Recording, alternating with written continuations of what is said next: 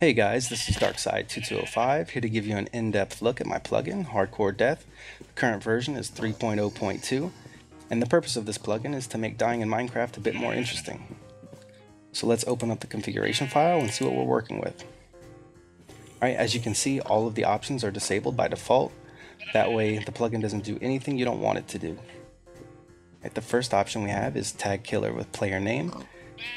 It's pretty simple. If I set that to true, then anytime a player is killed by a hostile mob, that mob will be tagged with that player's name. I'll give you a demonstration on that in just a second. Second option is mobs wear stolen equipment. We'll enable that as well.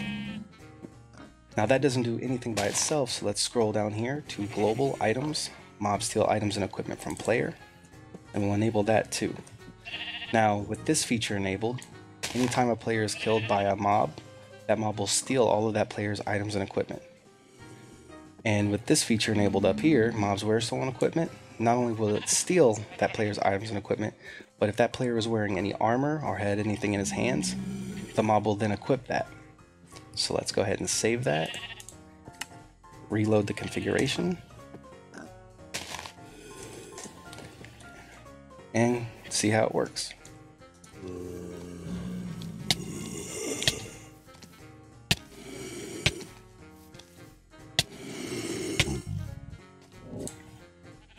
And as you can see, he's been tagged with my name and he's wearing my armor. I think I want it back.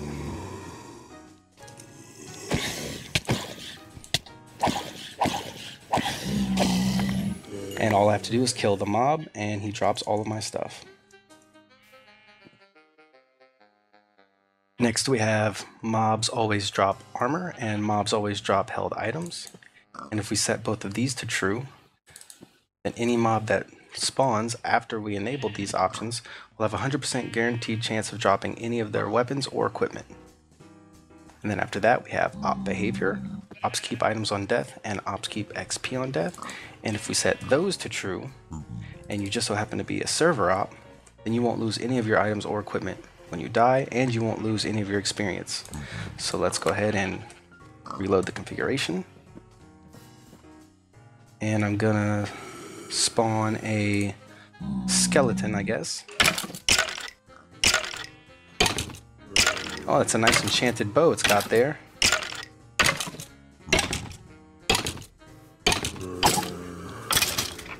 And there it is. And I can do it again. And there it is again.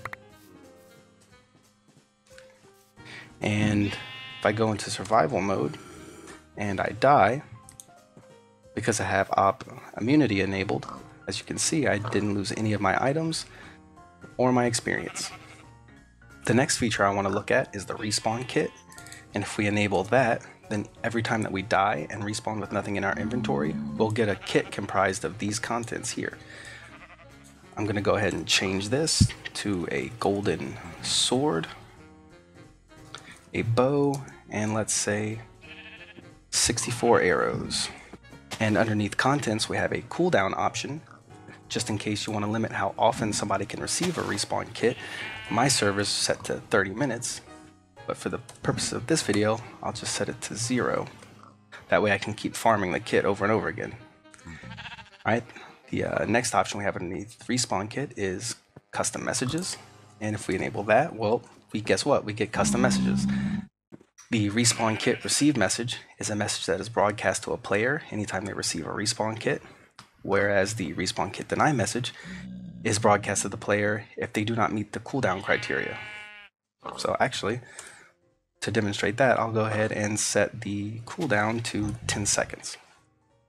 And underneath respawn kit deny, we have mob revenge, which is broadcast to the server anytime a player kills a mob that previously killed them in this case, ampersand P represents the player that killed the mob, and ampersand K represents the mob that was killed. The mob avenge message broadcasts to the server each time a player kills a mob that has killed another player. In this case, ampersand P represents the player that killed the mob, and ampersand V represents the mob's last victim. So let's go ahead and set this from null, which disables it, to you must survive for at least 10 seconds to get a respawn kit. With an exclamation point. Alright, now let's reload the configuration file and try it out. As you can see, I respawned. I got my golden sword, my bow, my 64 arrows, and my message. And if I try it again, it'll tell me that I must survive for at least 10 seconds before I get a respawn kit. And sadly, I received no kit. Alright, now if I get killed by a mob,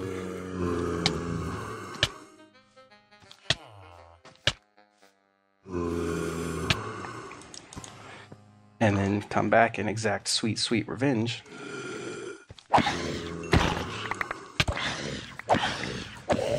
You can see a message is broadcast to the server letting everybody know that I got my revenge. Okay, so the last thing I want to go over is the per world configuration.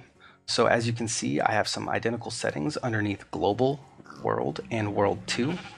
The difference here is that global affects all worlds, whereas world and world 2 only affect those specific worlds.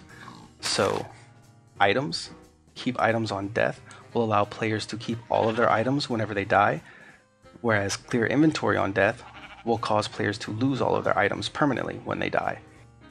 Items drop normally in PvP, regardless of any other setting if set to true, will cause items to drop normally if a player is killed by another player. Mob steal items and equipment from player does what we discussed earlier, where if a hostile mob kills a player, it will steal his or her items and equipment. XP, keep XP on death, causes players to keep all of their experience whenever they die. They won't drop any. Lose all XP on death will cause players to lose all of their experience when they die. XP drops normally in PvP will cause experience to drop normally in PvP. XP goes directly to player if set to true, will bypass dropping an XP orb when a player kills a mob or another player, and instead send the experience straight to the player. Mob steal XP from player does the same thing as mob steal items and equipment from player, except that the mobs will now steal your XP as well. And once again, you can get your experience back by killing that mob. Or if a mob steals another player's experience, you could get a whole lot of experience by killing that mob and getting that player's experience all for yourself.